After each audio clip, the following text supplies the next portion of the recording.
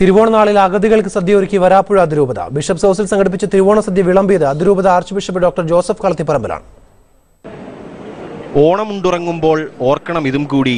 ഓണമുണ്ണാത്തോരുണ്ടീ നാട്ടിലെന്ന് പാടിയത് കവി അയ്യപ്പ പണിക്കരാണ്.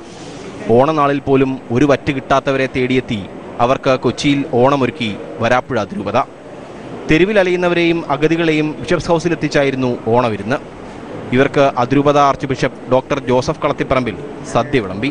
സമൂഹത്തിന്റെ അരികളിലാക്കപ്പെട്ടവരോട് പക്ഷം ചേരുവാനുള്ള ആ ഒരു മനോഭാവം നമ്മിലുണ്ടാകുമ്പോൾ എന്നും ഒരു ഓണക്കാലമായിട്ട് മാറും. ഇന്ന് മനുഷ്യൻ ഓരോരുത്തരും സ്വാർത്ഥതയുടെ ദ്വീപുകളായി മാറിക്കൊണ്ടിരിക്കുകയാണ് എന്നുള്ള ആ ഒരു മനോഭാവത്തിൽ നിന്ന് എനിക്ക് ചുറ്റുമുള്ളവരും എന്റെ സഹോദരി സഹോദരന്മാരാണ് എന്നുള്ള ആ ഒരു മനോഭാവത്തിലേക്ക് കടന്നു വരണം. മറ്റു വൈദികരും അദ്ദേഹത്തിനൊപ്പം വിളമ്പാനെത്തി. ഓണമുണ്ട് നിറഞ്ഞാണ് തെരുവിൽ നിന്നുള്ളവർ മടങ്ങിയത്. മനോരമ ന്യൂസ് കൊച്ചി.